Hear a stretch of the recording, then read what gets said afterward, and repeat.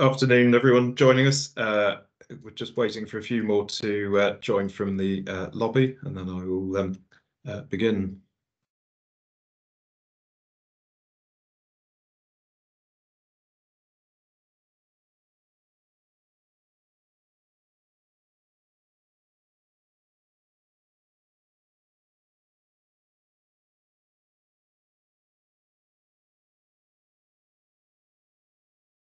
Okay, um, we have um, 82 people uh, joining us so far, so uh, thank you to everyone who's joined. Um, Brendan, I'll let you uh, carry on uh, admitting anyone um, else and we will um, begin. So uh, good afternoon, everyone, and uh, welcome to this Society of Light and Lighting Home Counties Northwest event. today's webinar is on the subject of external lighting and social equality, posing the question of the right to the right light. Uh, so my name's Chris Dix. Uh, I'm at CBG Consultants in Oxford, and I'm also the regional chair for the SLL. So I'll be the um, chair for this afternoon. Uh, we're hosting the event this afternoon on uh, MS Teams, which is a first for our region. Um, so please bear with us if we have any uh, technical issues. If you do find that you lose the sound or the video during the talk, please just try disconnecting and rejoining. Uh, the chat box will remain active for the uh, duration. Uh, do feel free to post questions and comments as we go along. Uh, I'll put a selection of these to our speakers during the Q&A at the end, um, but we probably won't be responding to them during the actual talk, uh, but, but do feel free to post things as you think of them. Um, and a recording of the event will be available on the SLL's website afterwards. Um, Don and Elettra have also kindly agreed to uh, allow their slides to be circulated following the event too. Uh, so I'm now delighted to uh, introduce uh, Elettra Bordonaro of Light Follows Behaviour and Don Slater from the London School of Economic Sociology uh, Department. Uh, both of them are part of LSE's Configuring Light Research Group. So they'll be speaking to you today about how as a society we uh, approach urban lighting and how that differs from areas uh, depending on wealth and uh, inequality and whether as an industry we're uh, approaching external lighting in the right way. Uh, so thank you again for joining us, both of you, and, and I will hand you over to Don and Elettra now. Thanks very much. Um, the slides are shared, everyone can see and hear. Yes? Yes, okay. Yes, I um, can. Great. I needed feedback. Um, we're really delighted to be here um, and to be talking to SLL um, about a topic that's obviously very dear to our hearts. Um, configuring light is a um, collaboration between Elettra and I and, and another sociologist, Joe Entwistle.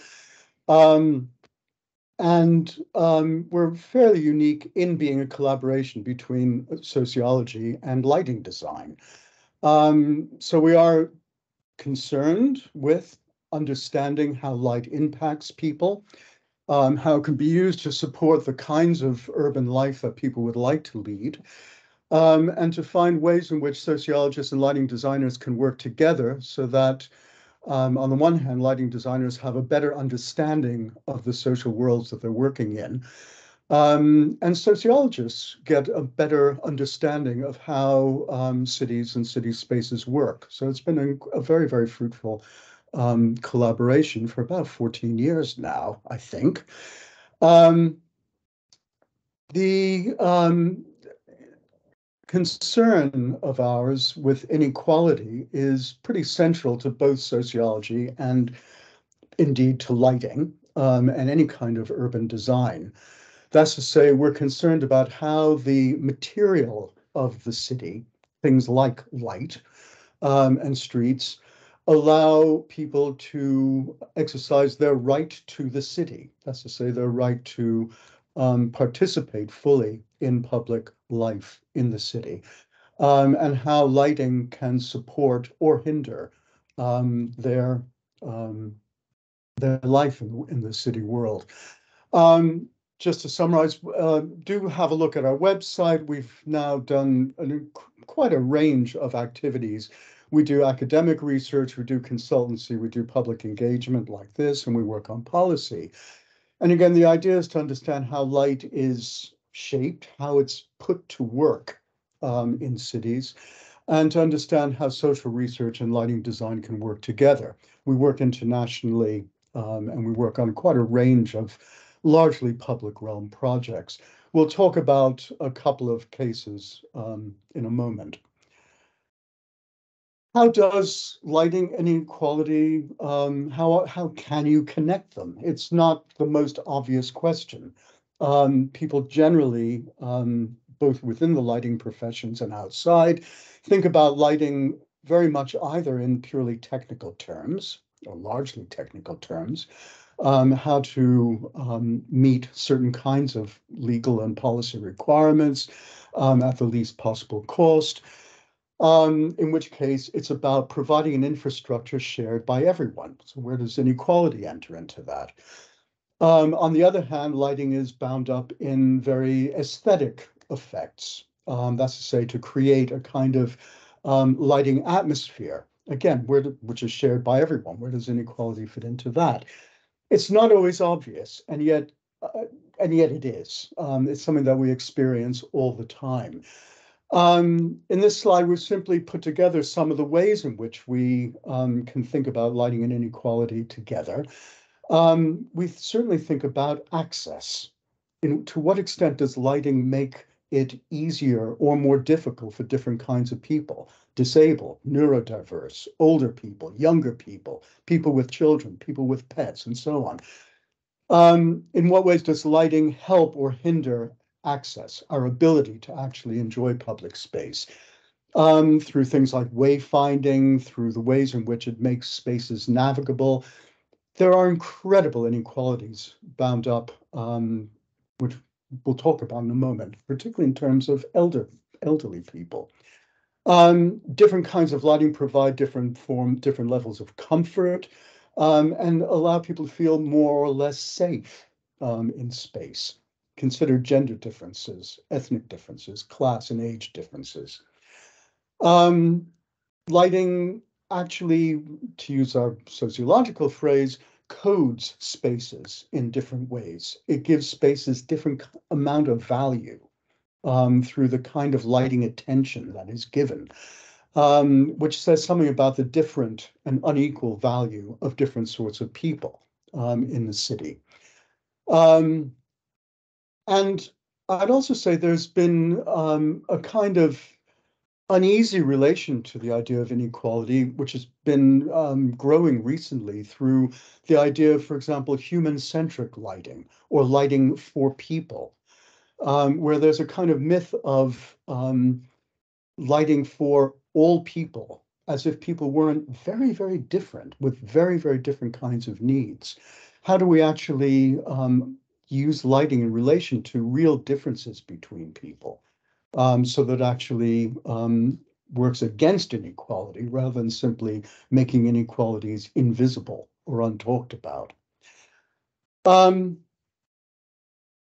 crucial to all of those questions is the issue of diversity, of understanding the differences between people. Um, inequality is not just about more or less power or resources or whatever. It's actually about the kinds of differences you find in the city and the extent to which those differences are acknowledged and addressed by things like lighting and the design of our public spaces. So before we can actually address inequality, we actually have to look at what inequalities are composed of, what they're made of, which is social difference, and the way in which those differences are addressed. Um, so we certainly confront when in any kind of lighting design um, project or research for lighting design, we're looking at a whole range of people with different needs, um, different issues of access, different things they actually want to do in public space. Um, we have to manage the coexistence, people sharing spaces which they don't necessarily want to use um, in ways, in similar ways. And in fact, there are obviously a lot of conflict. Um, we have to deal with the ways in which different parts of the city are, again, coded um, to appear to be for certain kinds of people and not other kinds of people. And we have to manage the relationship between a whole range of different stakeholders, particularly public and private ones.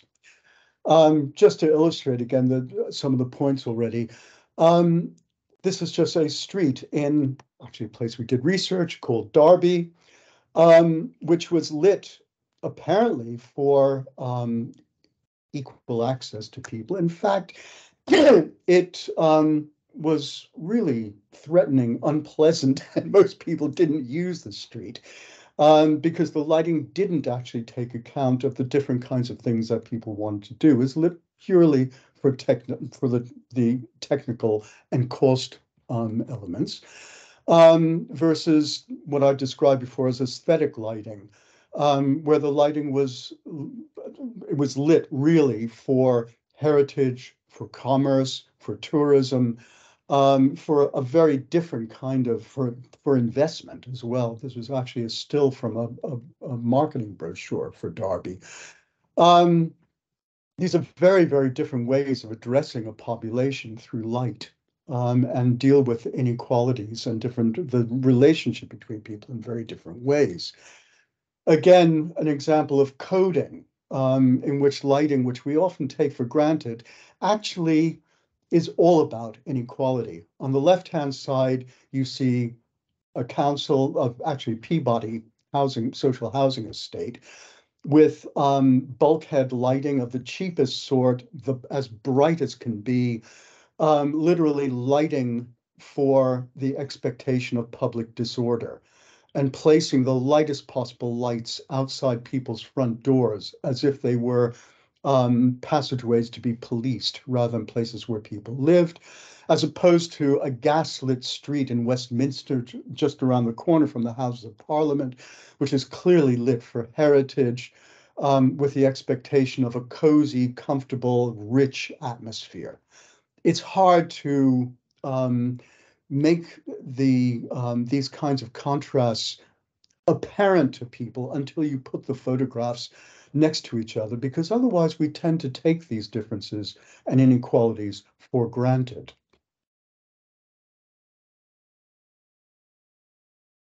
We also take them for granted because a lot of these inequalities are absolutely built in, not just to what we look at, but the whole systems of how lighting is provided.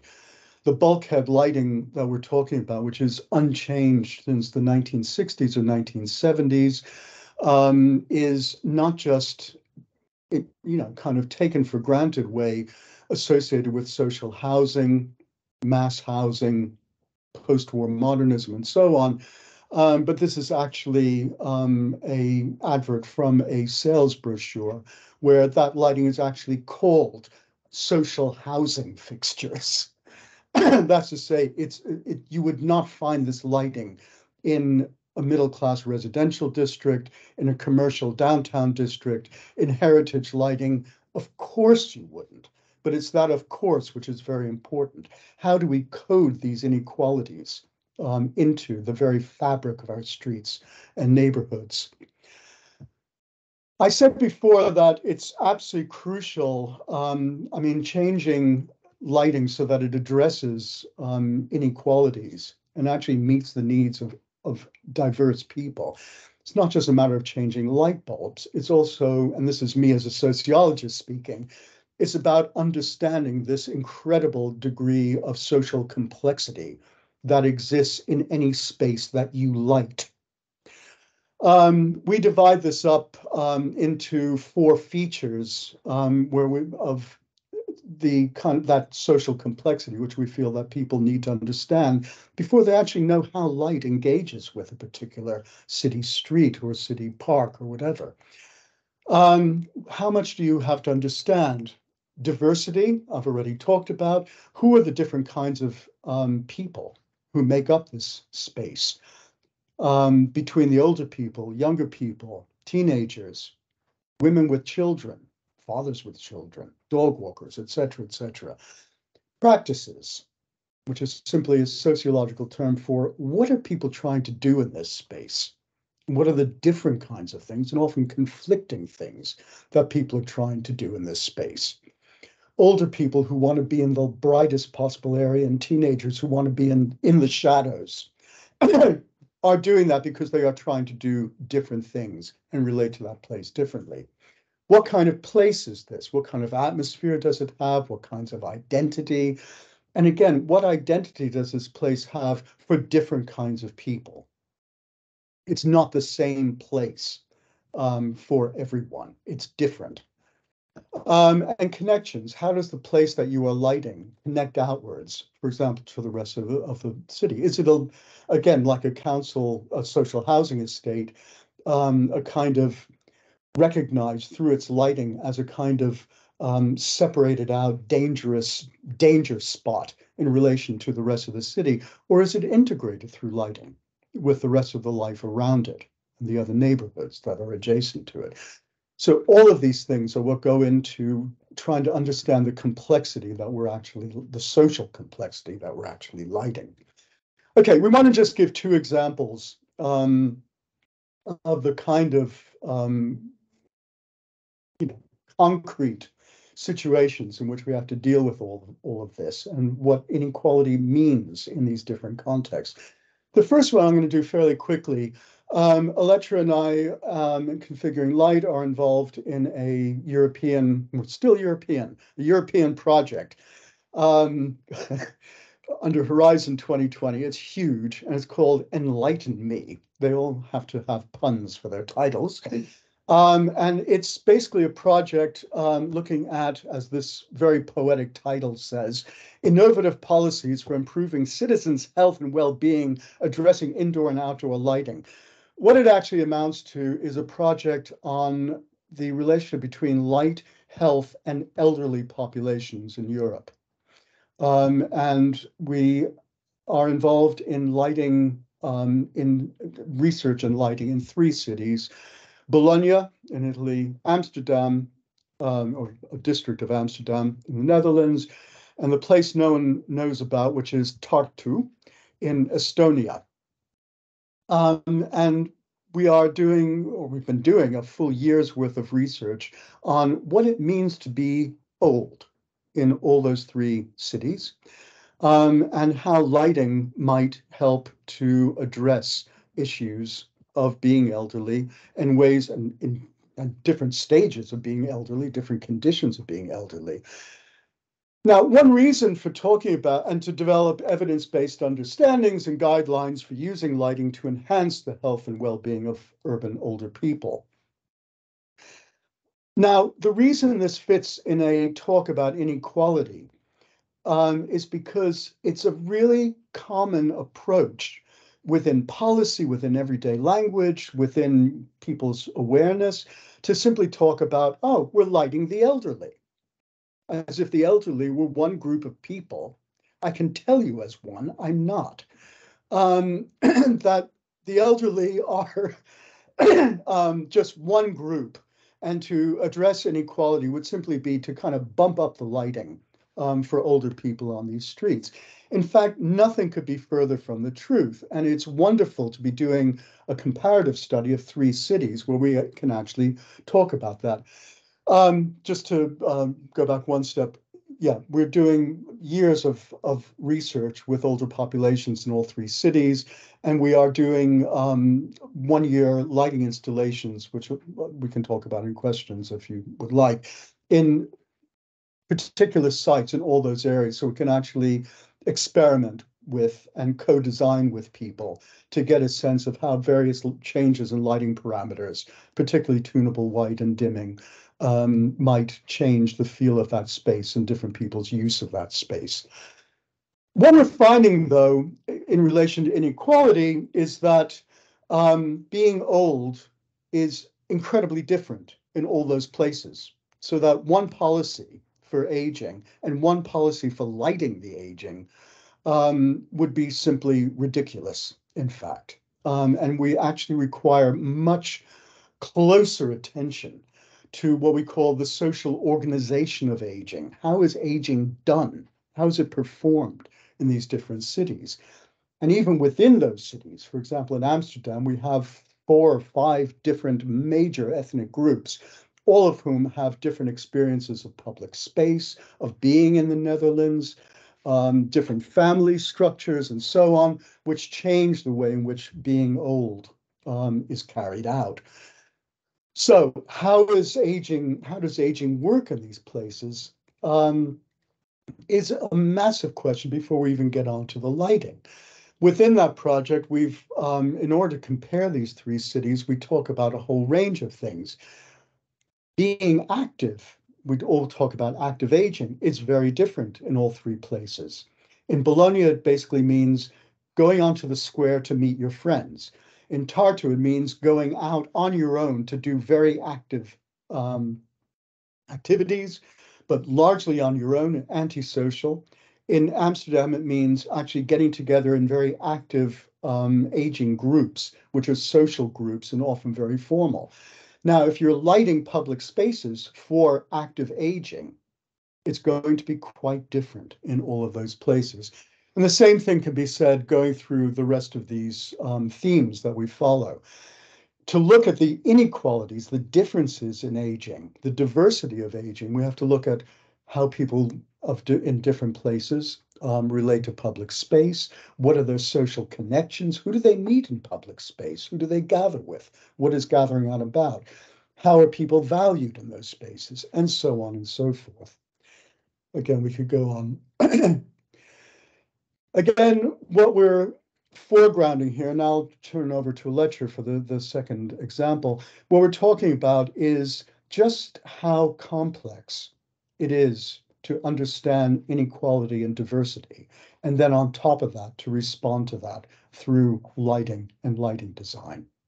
Elettra, do you want me to, I'll keep flicking the slides. You tell me when to, yeah. Thanks, Don, and thanks everyone for being here.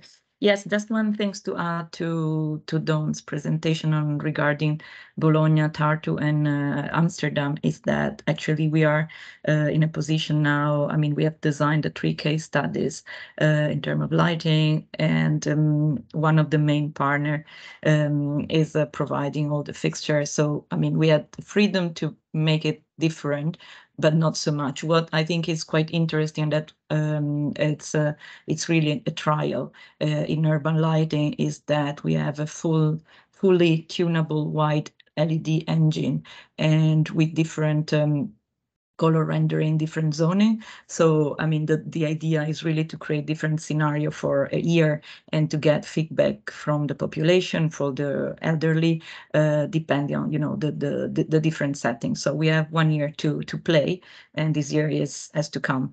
So we are very excited about that. Um, the second example we want to bring in is uh, is Brandon Estate, uh, and probably some of you you know, uh, they know it. Is um, in. So we work closely with Southwark Council, and we have been called by Southwark because uh, in, on Brandon Estate has really a bad reputation, particularly on newspaper, um, and uh, when uh, we we were called in uh, one year before, just one year before, um, a stabbing happened of um, a very young guy, and I think that's what's why uh, Brandon was included in this program that was called Great Estate Improvements by Southwark Council. That it was um, a bottom-up kind of experience where the residents were deciding which were the things to improve. And uh, in Brandon 3, that is one part of Brandon Estate, was actually the lightings coming as a priority. Uh, in reality, the area where we work on was really tiny. It's uh, this triangular shape square. Uh, the door was lit um, was lit with, uh, as usual, I mean, like a massive bulkhead uh, with very, very high contrast uh, and uh, and very dis dis disuniform lighting. And the problem was that this little square in reality was uh, a place where, in theory, to rest, a place where to socialize, in theory, because as you can see, there's no sitting, nothing, uh, and also a place to connect from the shopping street to the all the housing. Problem is that you had to cross that square and you had to cross the garden where the stabbing happened. So again, here we work closely. Uh, it was COVID period, so it was very difficult. We have to engage, to start engaging online for the first time. And you understand that that's already quite unequal because, I mean, a lot of people don't have access to technology in that sense. Uh, but, and that's why I think we kind of also reversed a bit the program in a sense that we engage a bit online. And then when we had an idea, we implement the idea, and then we do a lot of engagement after yeah, the main issues were uh, that basically, I mean, of course, as all in social housing, you know, like uh, the the the feed, I mean, the feedback we got is that, of course, the lighting was like more prison yard lighting, um, and as well, I mean, like uh, the there, it was more of like a, as usual. I mean, on social housing, people think that is more political performance. In fact, the funny the funny anecdote on this story is that um, when we start interviewing people. Uh, all the all the people living across the area they were saying oh we couldn't see anyone we couldn't see anything of that event uh, we just heard a lot of screaming and and it was like was it dark when uh, when it happened it's like yeah yeah it was night. It was like full night. And then, I mean, looking at the, the criminal records, we discovered was like 6 p.m. in July. Uh, so it was basically impossible. It was dark, particularly in London. Um, but as reaction, the council, uh, without checking possibly, they just changed all the lighting on the side. Um, and they changed the lighting with the tree. I mean, like you will see a video after, I think we will be able to share it. But if not, we just leave you the link.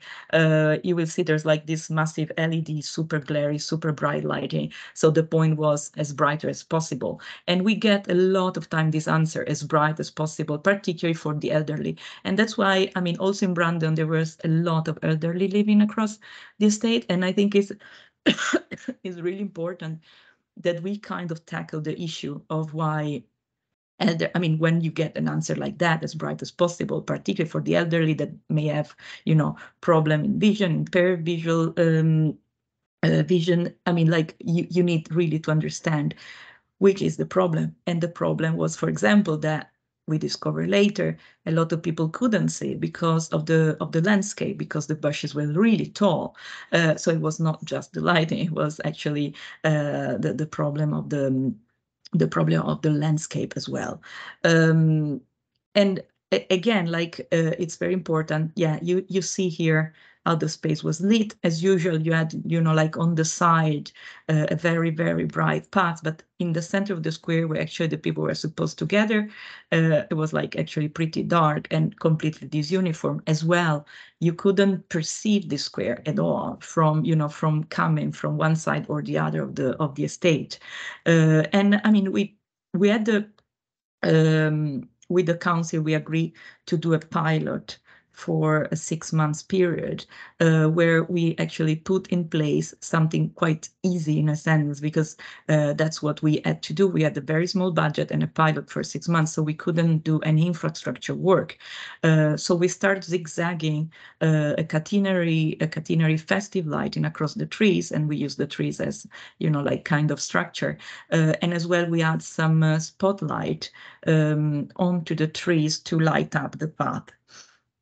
Uh, and uh, of course, it seems like a very normal festive lighting, but we took care a lot of time. We took care to decide really which bulb uh, was important to use, the color temperature, not to be glary, not to be too too bright, but even not to be too uh, too dim, uh, because I mean they were coming from a situation where the the sides were really bright, and we we didn't want to create this kind of contrast immediately. So we say to the council, let's start with the you know, a good level, and then we dim down later. I mean, people will adapt, but they can't adapt immediately uh, to something so different. Um, the other, and I think that went down very well, and you will see in the film. I mean, was very successful, and people start gather gathering around. Uh, they, they organize Christmas carol and events under uh, as soon as the it was possible to go out again. Uh, the funny thing is that um, as um, as we usually do with uh, with Don and Joe. I mean, when you start interviewing people, there's a there's a lot of funny things that are coming out, and there's not just about lighting. So we discovered, for example, that sitting was utterly important for the elderly to stop by and to get kind of a way a place to rest. So as soon as we heard that, we said, okay, we can just put some benches into the square. But then, of course, it was like not well received as an idea because, uh, as you have seen from the picture, the housing are really close to the square. so there were a lot of flats and, and people sleeping close by, and they were very scared about antisocial behavior on those benches. So we kind of agree with them and with the council to use the kind of the, the side, the the the the farther side away from from the from the square, but still a place where people would pass by and could rest. It was exactly in the in the location where you see this picture uh, with the two old ladies sitting there. Um funny enough i mean the this the brick building that you see in the back is the anish kapoor studio uh, that was uh, actually quite beautiful but it didn't really want to engage uh, or collaborate with us. That was a very much of a shame.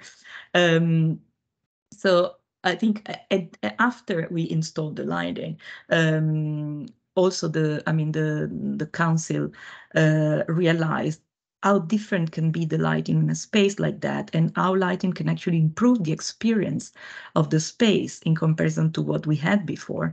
And it's not a question of budget, it's not a question of cost, uh, it's actually a question of thinking, uh, thinking in a different way. Uh, these are the two residents we, we start thinking about the benches and where to locate the benches and as well as part of the same experience you know lighting and seating are, are normally quite the two uh, markers for inequalities in public space uh, because you you discover immediately that you know benches are are actually probably worse than lighting and in that sense. You know sitting is uh, is very much seen as a, a, collection for antisocial behavior. So you have beautiful benches in some location like obviously the residential estates. But as soon as you go to social housing it's very difficult to find benches or sitting area. Um, and uh, and that's also i mean quite a quite a funny story about that. Uh, after the installation of course we engage for longer period and that's where the the the film that we want to show you is coming from. So we collect all the interviews we did uh, all the experience we did. I mean we had different groups. We had the elderly groups. We had also newcomers. Uh, we had the gardener the group the gardening club. Uh, so and we try to include uh, really very much everyone in the conversation. And i think think, I mean, like, uh, it was, in a sense, it was a very simple uh, but very successful experience uh, in how you can really improve lighting uh, for bring activities in a space that was completely dead before. Um, Brandon, if you if you want to share the film, I think we are ready to go. And then after the film, we are very happy to answer all your questions. I hope that because we left quite a bit of time for question as well. Light is part of everything we do, either light or the absence of it. And yet it's something that people really don't know a great deal about. We're configuring light. We have a research group at the London School of Economics, um, Department of Sociology and King's College, um, London. And we are unique in being a research group entirely focused on studying light and lighting in public space. We want to understand how light impacts people. We also want to improve the social knowledge base of designers and other lighting professionals um, who work with light and often um, need much deeper understanding of the places that they're intervening in. We've come to um, Brandon um, to work with Southwark Council as part of their Great Estates program. It's a four-year program um, being resident-led so that residents can tell us what type of improvements they want to see on their estates. This is an estate with a very complex history. Um, so there are many kinds of connections and forms of communication. We are interested to learn about the, the kinds of people on an estate and the diversity of people that live in a place. We don't really start with light, we start with where do they live, where do they go, what do they do, and then light just filters into that um, that conversation really. I've lived on the estate for 34 years. I've loved every minute of living here good people, nice people, and um, we love each other. Well, there's more decent people than there is villains, let's put it that way. I think it can be quite an intimidating place if you don't know it. But having said that, once we started to get involved in the TRA and met lots more people, then it feels a lot friendlier. It's a real mix of people that get uh, involved in the gardening club because there's some younger people who've never done gardening before, um, but then there's also people like Bill, who I think's in his 80s and has been gardening on this estate his entire life. So you can see that there's plenty of stuff being put in, so people are interested in using it and doing it. So it's been really nice to have an environment where those people get together because that doesn't happen very often. And what's the estate feel like at night? How does it feel walking around in the? It's not too bad actually. Well, I don't. Like I say I, I don't mind walking about, but I mean, I don't about girls, young girls. I don't, don't know.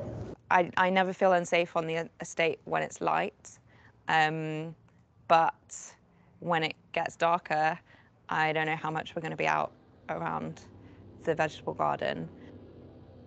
We have had a few issues and there have been serious issues. Brandon 3 has developed a reputation for um, antisocial behavior and other issues.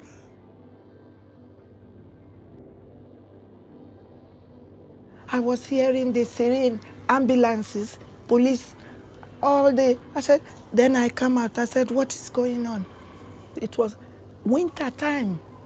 Yeah, yeah everywhere is dark. I went round the corner there. Then I saw the boy, the boy, the boy on the floor. But unfortunately, we lost him. Oh, it was a terrible, terrible, terrible day. I have the memory in my, in my head all the time. When I sleep, I remember. We had to shame the council to say not one of our council representatives had come down to see how anybody was on the estate. We hadn't had the police come down. There was no victim or counselling or support or anything. There was still blood on the on the ground. I mean, the response to um, the stabbings and shooting incidents was on the residents' part was to demand higher levels of lighting um, and CCTV cameras, um, as well as blocking some of the paths um, so there couldn't be high-speed chases. A man from the council to whom the bench behind me is dedicated um, came to work with them um, to inspect the lighting and then put in um, some rather brutal lights from our point of view. Um, the point, though, was that he cared. and everyone recognized that he cared.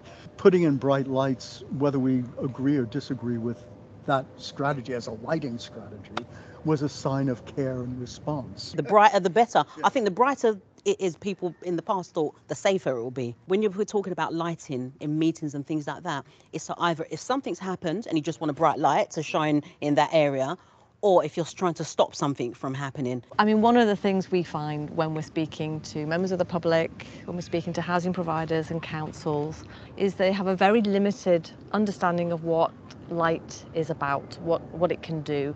They tend to speak um, in terms of brightness, whether the light is bright or, or dim. And on that polarity and that they're always going to say, we want more light, we want brighter lights without understanding that if you whack in a bright light here, you're going to have a pool of darkness here. And you have a problem when you install very bright lights of extreme contrast because our eyes can't adjust very easily. So actually, very bright lights in public space often can make a space feel less safe.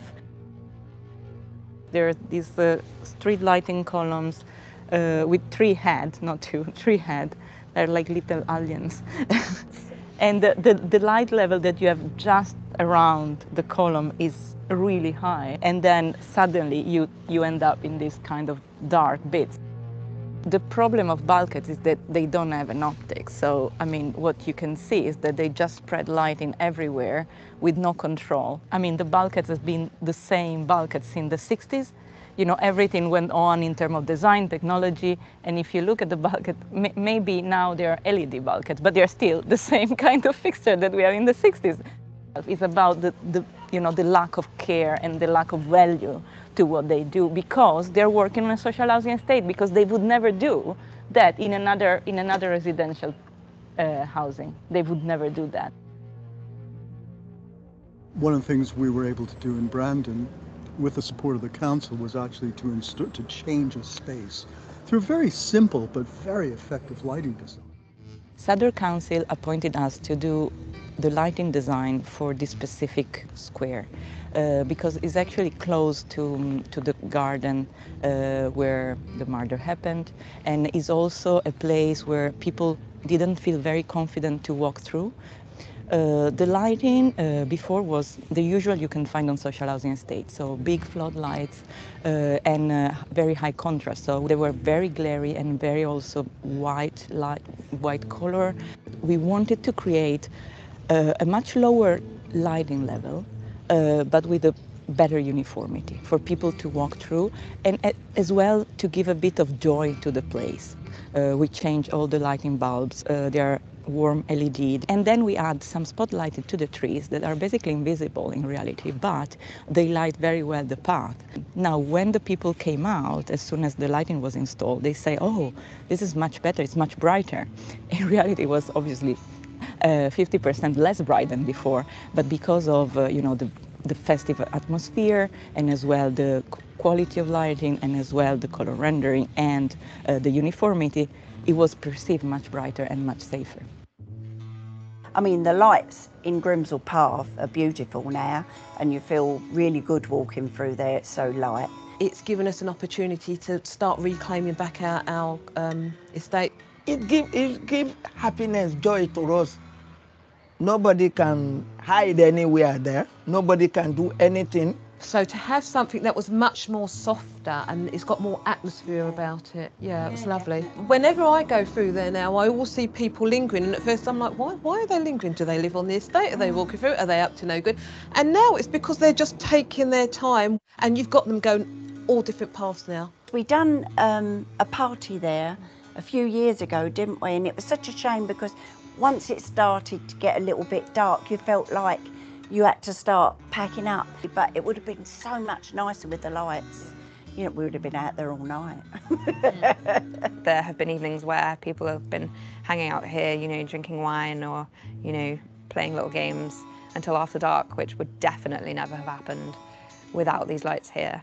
And it's not that the estate was dark before, you know, there were really big street lights everywhere, but that kind of lighting doesn't make you feel safe either. The problem with social housing lighting is that it, if they just speak to function about crime reduction, it doesn't send that message of, of care. Not only does the place not feel attractive, but it does mark a place out as a problem. So aesthetics should be part of the way we think about how we care and how we show that a place is valued and cared for. I didn't know that there was other types of lighting, not other types of um, look and feel of lighting available. I think it's the understanding of what more is available out there. Um, and I think once you do a pilot on what you can actually do and see, I think other councils will actually introduce that as well. So I think that makes a big difference.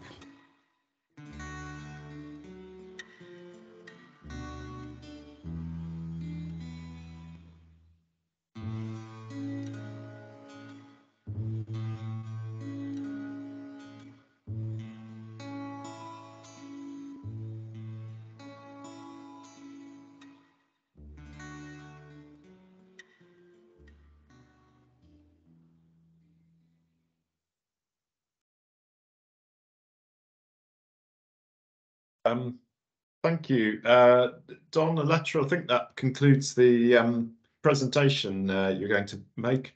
Um, hopefully that uh, came through clear for everyone on um, YouTube. Uh, if it didn't, um, perhaps one of you could just paste that link uh, to the video again in the um, chat um, while we're uh, talking and doing the Q&A and uh, people can obviously go and uh, have a look. Um, I, I, thought it was very interesting and the talk too. So thank you for that. Um, thank you. We'll. Uh, I'll just take these uh, questions now as they uh, come in. So um, uh, the, the first one we've had um, is uh, so, so a question here uh, from from Martin. Um, if public space lighting infrastructure oscillates between mainly homogeneous and uniformly lit spaces, um, as as a police formations and Times Square, Las Vegas specularization, how do you envisage a city lighting that enables diversity? Um, but I, I, think what he's getting at there is, is, sort of different. You've obviously got different zones. How, does that um, work at the interfaces? I like the social lighting utopia. Um, thank you. Yes, sorry, I'm not sure yeah. what it is. Um, I, I mean, one short answer to that is, I mean, yes, you've captured the kind of polarization that that we're working against really well. Um, and you know, it it is the problem. Um, how to work through it, um, I think we're only in many ways just beginning. Um, and you know, a first step is actually recognizing that polarization um, and and finding other kinds of routes through it. One reason why working on a social housing estate like Brandon is so fascinating is that instead of thinking about either security or aesthetics, um, we could just talk to people and see what what they want to do in their spaces, and work through various options. Um, it's not like there's some solution that we, as Elettra said, it was because of COVID that we just presented a, a solution. Normally we wouldn't. Um, it's rather a process. How can we explore the different things that people want to do and their conflicts and uh, the things they share and work through it together? The one thing I would just add is there have been incredible technological changes, which means that lighting can be much more adaptive, much more um, uh, able to to respond, to be dynamic, to zone spaces in more complex ways. It's not any longer a question of just bunging in some floodlights um, that kind of flood everyone with the same light. So if you're looking for a, a, utopia, part of it is technical, that we actually have so many more possibilities we can explore. Um, and be real shame if in this new era of control systems and LED and tunable white and all the rest of it, we weren't actually exploring those. Or we reserve those possibilities just for spectacular, as you say, Las Vegas style lighting um, as opposed to spaces we all actually live in. Thank you. Yeah. Um, uh, and then, oh, sorry, Letra, you're going to come no, it's okay, it's okay, it's okay. so, so yeah, the, the next question then, uh, which is one I asked you about uh, actually when we first uh, spoke, there's uh, Mark Searle saying, um, do you find that the requirements for providing resilient lighting with high IK ratings, so IK meaning um, uh, impact resistance, vandal resistance. Uh, does that limit the option of um, light selection? I mean, clearly those um, little festoon lights you put around um, aren't going to um, withstand yeah. uh, a, a, uh, rock thrown at them. Um, how do you uh, work with that? Yeah, um, I think a very, very interesting question. Yeah, of course, it's uh, completely limiting our choice uh, as well. I mean, not just IK, but as well, you know, like uh, um, emergency lighting integrated because, I mean, for some reason it can be on UPS battery. So there's a lot of the geeky part where, I mean, particularly council requires sometimes uh, specification that, of course, they, they limit very much the range of fixture we can use. Um, and I mean that's one of the problem I think is part of the inequality we're facing uh, because I mean like we are we are taking for granted that if we're working on social housing estate, we need to use IK10 fixture because people will destroy everything. And uh, as exactly as like, oh, we need to light up to 100 lux outside because we need to put CCTV camera because for sure they will, you know, drug dealing or kill each other or, you know, like uh, um, drink alcohol and abuse. I mean, like, uh, I mean, it's all part of the same kind of thinking and inequality that is really what we're working against, basically. Uh, and I have to say that, for example, we have um, uh, projects where, I mean, I convinced the council to go down with the IK rating uh, in Thamesmead. That is one of the most dangerous area. You know, like, oh, you think Thamesmead is like, oh, for sure they will. You know, you need like a stainless steel fixture and like, you know, undestroyable thing. And uh, we even did like a, a wall in tiles. And after six, seven years, because of course I think we work in a in a process not just for the final result, not for the final image. That I think is very important to say. Uh, the the tiles are still there, perfect. you know, like there's no scratch, there's no uh, spray, there's nothing. They're still intact, and people are very proud of them. So it's really how you work with them. Of course, if you try to impose, you know, massive bulkheads, I probably would destroy them as well. You know, like if it would, I mean, like living there it's really it's really a good question because it's actually is a limitation, but it's part of the problem we are we are fighting basically. In, in essence, if you give people nice things, they'll um, look after it. If you if you don't, it might almost be seen as a as a challenge. And if you and if you engage them in the process and you are you know you you kind of make them part of it, then of course I, I think it's there's a way it's a better way to do it. And then a That's good also what we're question. Sorry, Don. say in the- Uh, it's, it's also what we're trying to say in the film about care and value. Um, if you treat a place as uncared for, um, it's going to become that. Um, so yeah, I mean, a, a lot of it is if you treat a space purely in terms of security and securitization, that is going to be the game. Okay, and the challenge is to, to, to destroy all the security features. If instead you value it as a space that people want and like, um, you start a very different social process. And that, that's part of the job that lighting can do. Um, so we've got a, another question from Liam Minty here. Uh, so what kind of testing process did you use for your lighting proposals? What's the ideal intersection of technical parameters and human intuition? It can be difficult to gain a human perspective while designing lighting in the planning stage of new buildings. Uh, Don, you want to go with this one? Well, I mean, just very briefly, we, we don't tend to talk about testing because you don't get much funding to test anything.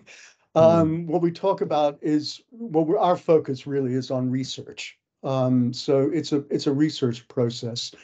Um, as I say, to, uh, you know, it, I don't think it's about intuition. Um, I think it's about um, understanding the diversity of people in the space that you're lighting, um, understanding the relations between those people, what they're trying to do, um, and getting, and also avoiding um, formal consultations, which only attract um, the voices of people who are already articulate. Um, so the testing, as it were, is going into the community and finding not just the people who are in that space, but also people who are excluded from that space. Um, And and tha- and that's a that's you know that that's a complex process. It depends on how much time and money we have to do it. It's also it is a process. Um, so rather than just testing it, as you saw in the Brandon film, it's okay. You try something out, you see how people respond to it. In this case, it was a very warm response. Um, if we had more time and money, we could see how far we could push it further. So it's a learning process. Yeah, uh, the other things I just want to add is um is regarding, you know, like designing at planning stage for a new building. Uh, there's always uh, any uh, urban context that you can investigate. You know, like uh, I mean, we work in some other uh, in in you know new new building at planning level, but you really understand the context. I mean, we organize uh, in San Rafael Estate, for example, we organize workshop with the teenager girls that were the future residents, and uh, I mean, it's something that you can definitely do also if you are at planning level. I mean, uh, that's not really a big issue, really. Uh, and then and this sort of leads on to another question uh, that, that this sort of thing about the intuitive versus uh, technical standards. Um, so to, from uh, Thomas Dolan, I um, paraphrase here, but uh, how do you sort of square um, what you're doing with the um, with the standards? Really, um, No. you, you can't necessarily. You, you can have a very technically compliant scheme that that is a is a failure uh, on a social level, as you've shown. But but how do you um, do, do you have to ignore those standards and uh, plough your own path, or how, how do you No, we- reconcile that? We we can't ignore the standards of course particularly working with the council. I think we need to design by the standards but um, i don't think that's too difficult in a sense that um, a lot of time first of all we work on pedestrian space. So i mean that's kind of easier uh, you know to go around. Um, and uh, i mean like when uh, it's uh, I mean, sometimes, for for example, uniformity is needed. Uh, minimal illuminance, even if you're in pedestrian space, uh, is um, it's uh, it's still like uh, something that we kind of designed to. Uh, so it's um, I wouldn't say I mean some standards can be unequal as well, uh, but I wouldn't say that is the lighting standards because the prejudgment of people. So they push the higher level standards or they pick up the wrong standards for the right for the location. So there's always a way to to go around it. Yeah, I think that's interesting. I think lighting standards often get blamed, but um, I don't know, something like the new uh, CIBSE code for lighting is, is probably sort of, uh, uh, Brendan might um, correct me, but it's probably about 200 pages long. Um, and yet how many people simply dive in, pick the illuminance level they need for a particular area, and, and that's what they design to. Um, that I think that there's perhaps a bit more scope there. I think it's really important that applying standards is never straightforward. It's a choice. It's about how you interpret what kind of space you're dealing with and therefore what standard applies. So again, going back to things like bulkheads in, in social housing estates, the ones I talked about at the very beginning, which were incredibly bright outside people's windows to the extent that they were putting black bin liners over their windows so they could sleep at night there was a hmm. choice to interpret that passageway as a public space rather than as their front door. Um, the the you know uh, correct me if I'm wrong, Lecce, but the the kind of depending on what standard was applied, the lux level could go from anywhere between around two or three up to about 110. Yes, they were they were using basically standards the, are not laws. They're yeah they were using what you yeah. apply. Yeah, they were using the standard for indoor corridor because in reality there's no there's no balconies mentioned in the standard. So I mean, like when you discover that and you say why you designed to 150 lux or 100 lux uh, an external balcony, and you say yeah because the only things we can find on the standard is the as corridor is the internal corridor. I mean, like there's a way to go around it to convince them that probably is not the right choice. but yeah, I mean, there's a lot of talking, of course, about standards, how to you know like how to read them correctly or how you interpret them. It's interesting you it's emphasize, also- sorry, Tom. Hmm. I was just going to say, it's interesting you emphasize that uniformity is important. It's, it's not about um, abandoning that, but but if anything, those some of those schemes aren't thinking about what happens beyond their reference plane, um, where you suddenly drop the uh, high um, contrast level. Um, we've had a, had a question here from Louise Wicks just asking uh, about um, your work in the context of, of more sort of transit spaces, so so bus shelters, um, cycle parking, uh, those sorts of areas. Have you have you looked at that much or worked with um, suppliers in that market? I mean, Elettra, do you want to? Yeah, I mean, like I have to say that mm, sometimes we have like a um, cycle parking. I have to say that we never probably work on bus. I mean, we work on bus stop, but in a in a high street condition, so it's probably quite different. Um, and I have to say that no, we we didn't. I I don't think we did work with any street furniture supplier specifically uh, on how. In, I mean, we we tend to integrate lighting in everywhere we, we, we can, everywhere we, we possibly can. But uh, I mean, we work uh, on a on project by project, so I don't think we tackle one manufacturer and say, let's come with us and do this. Um, as more like product design, no, we didn't do that. And probably possible a good idea. I think um, in terms of inequality issues, a lot of those questions about transit spaces it's more about um, multi-user, um, you know, multi multi-function. Um, so, for example, a lot of the work with the elderly, it's a question of how do you zone spaces, um, possibly using light and color, um, to make sure that pedestrians and um, cyclists and you know different kinds of traffic can actually work together. we also know from in many interviews that elderly people will say, if you move a light just even a few meters away from a bus shelter, it might ch- take away my access to the city because I'd be afraid of the kind of journey to the bus stop um, and uneven uh, paving and so on and so forth. So these are, you know, uh, that that sense of of how people move between different modes of transport is really crucial to multi multifunction streets, and light Yeah. can help quite a bit. Of course, Yeah. yeah, you then have the whole, you know, issues of sort of motor vehicle safety and all the um, regulations for public highway light, lighting as well. Um, Brendan, thank you for uh, that. It's 371 pages and a nice plug there in the um, chat for anyone who wants to uh, buy the um, uh, code for lighting. Uh, we're conscious of time here. It's been really interesting. We've got some great um, questions uh, coming in. I, I, don't know if you're uh, happy to take a couple more um, and then we'll sort of wrap up. Um, yeah. So uh, I'll, I'll um, just um, scrolling through uh, these here. I think, well, a good observation uh, from Victoria Sadler simply saying the real issue is that um, uh, a, lot of the original designs aren't actually being carried out by um, proper lighting uh, designers in the first place, um, which uh, is probably not a fair specific uh, criticism of the Brandon estate or anywhere else, but but I think that that's probably um, very true. You you can pick a number, you can click a calculation, you can get the number and uh, feel you've done a good job.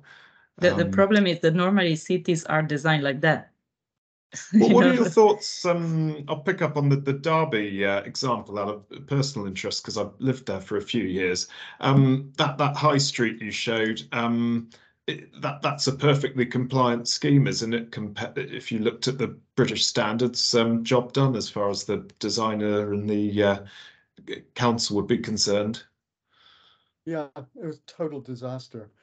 Um, the other thing it was was the result of a I mean, this was from about 2005, I think, that street. Um, it was a public-private partnership. So Derby basically needed 30,000 light points replaced quickly.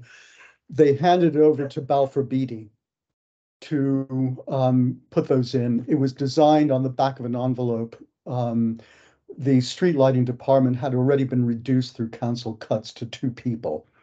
Um, there was, no, you know, and that locked Derby in to 30 years of those lights, um, which Balfour Beatty, do, because of that kind of contract, has no incentive to ever change.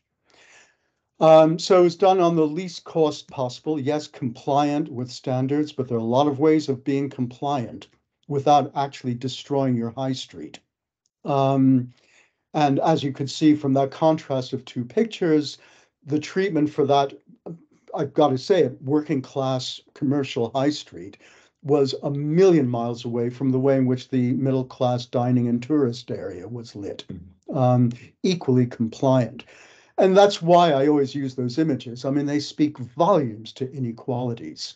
Um, the compliance I've just got to add was also based on, you know, basically again, prison yard lighting, that the responsibility of the council was not to make a nice, cared for, valued place for people to enjoy, but one which ma- matched the standards which without much evidence are meant to reduce crime and antisocial behavior. Of course it doesn't. It was um, I mean, a complete disaster complete yeah, um, yes, no, I'm sort of playing devil's advocate, but yeah, but yeah very well um, said. Um, James Poor uh, is uh, one of our um, SLL uh, members, and uh, I, I, know has done um, a bit of work on this uh, himself, actually, uh, and looked at it in the past. Um, he, he paraphrase his question, but really, is it is it sort of simply about um, kind of lower light levels, warmer color temperatures, calmer environment, um, getting back to a sort of some subconscious craving for um, kind of the, the, the campfire, I suppose. Uh, is it as simple as that, or is there there more to it than just um, putting in warmer uh, lamps? I I'm I I understand where that's coming from, but it always worries me to appeal to a kind of historical unconscious um, partly because we've done a lot of work in different, many different cultures, Latin America, India, um, Australia, Thailand recently, Elettra. Um, and the meanings of color and light colors and color temperatures is unbelievably various. It also depends on things like age and the way you actually detect different color changes.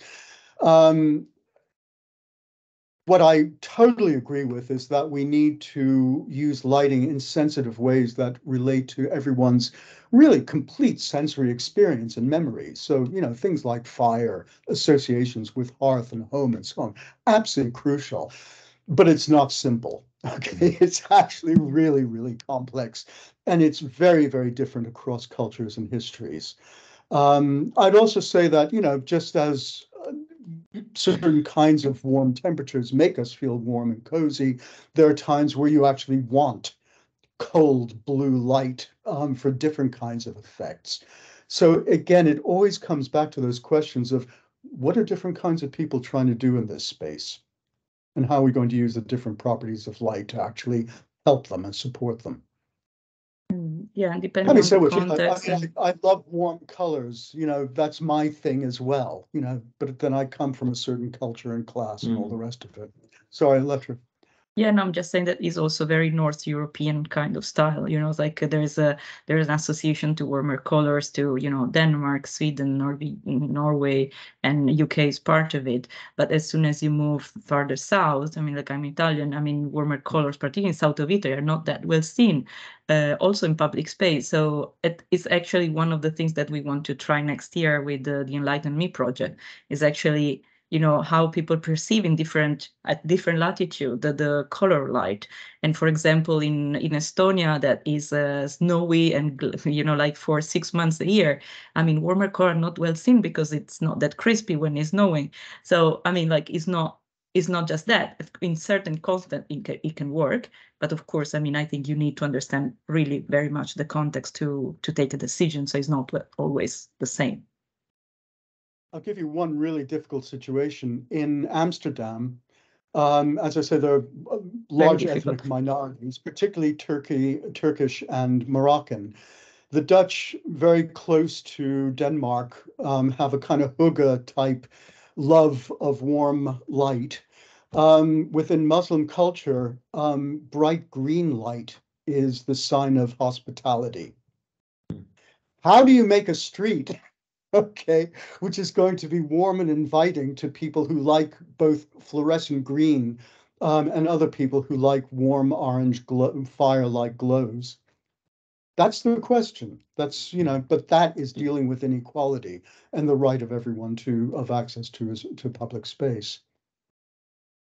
I'll, pose a final question then before we wrap up, which is, um, I, mean, this has been really, really interesting. I hope uh, really thought-provoking for um, everybody who's joined us. Uh, we, still have um, almost 90 people uh, listening in, which, um, given we're uh, running over, is uh, is a real credit, and we had over a, a hundred um, for the main event.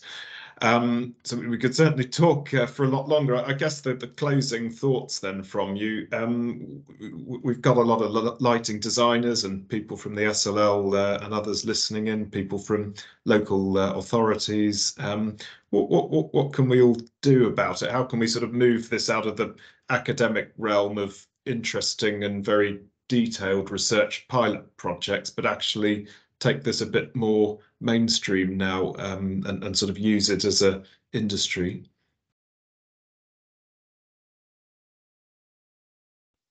Oh, well i mean like i mean we we do it you know like you know that i Mm. also have my my lighting office and we we work in that sense i mean we mix very Mm. much uh, the academic experience and the academic background with the real life that of course i mean is tough it's not easy it's not always successful um, but it's a way to go i mean like I think the main point, and I think something that I really stress every time with, uh, you know, I mean, I have a lot of friends that are lighting designer, of course, is like try to work not on paper you know like try to at least see the place that you're working for that you are design um you know try to understand who is living there which are the i mean hierarchy of paths and lighting strategies they all come out you know sometimes. I mean i work in a lot of different offices you know they come out from computers and CAD plan and but in reality you know how people are walking which which is the main part sometimes is not the largest you know not plan but it's actually a path that people are using because it's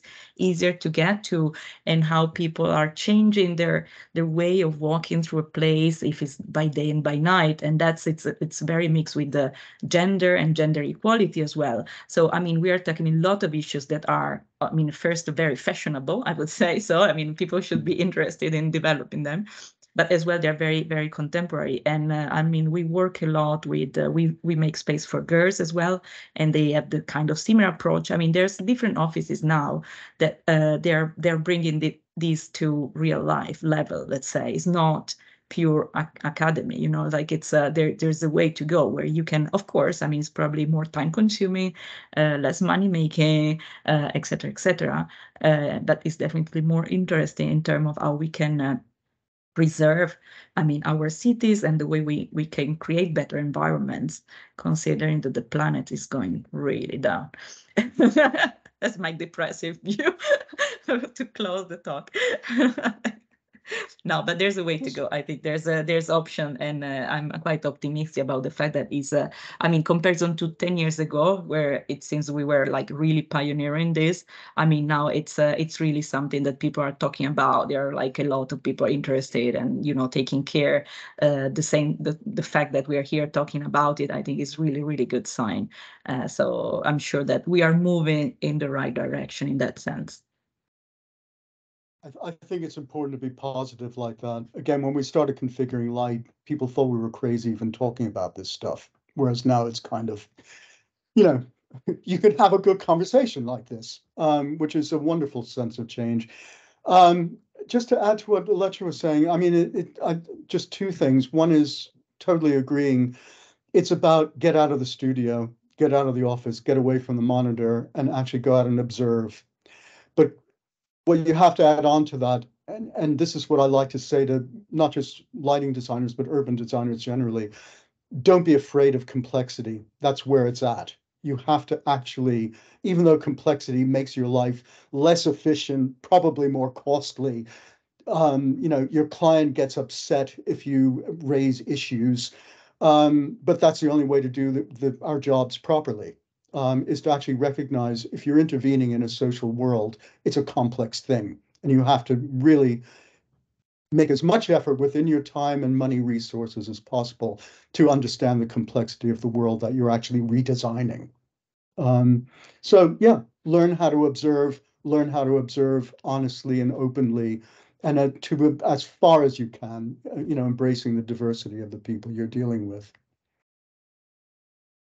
Uh, Don Elettra, thank you very much. Um, been, been really, really interesting. Um, thank you to everyone who uh, joined us. Um, and I, I won't apologise for running on because um, I think think we could have uh, carried on going actually, but um, very thought provoking, and uh, I hope it does um, certainly lead to some some fresh uh, approaches in, in, in our industry and um, getting out there and um, talking to people a bit more, um, not not sort of assuming what um, communities might want. Um, just before we uh, close, I'll just mention our next uh, upcoming event. So uh, on Friday, the 21st of April, um, this is going to be uh, quite a different one with a, um, an in-person event uh, with a look at TM66 and the circular economy. Uh, we're going to be looking at some practical case studies of how light fittings can be re-engineered and reused. Um, that's going to be hosted up at Coco Lighting's manufacturing uh, facility in Braintree in Essex, uh, run jointly with the Home Counties Northeast region. Uh, do uh, keep a lookout for emails on that one, and um, we'll hope to uh, see you there.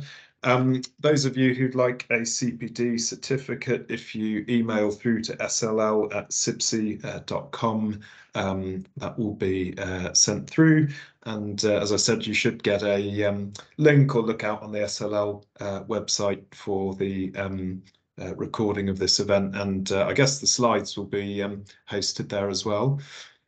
So uh, that that's it really. Uh, thanks everyone. Um, have a good rest of the afternoon. And um, uh, well, Don, the lecturer, hope to um, see you again soon. Yeah. Thank Bye. you very Thanks much very for much. hosting us. Thank yeah, you, Chris. Pleasure. Thank you, Brendan. And thank you, everyone. Bye. Thanks.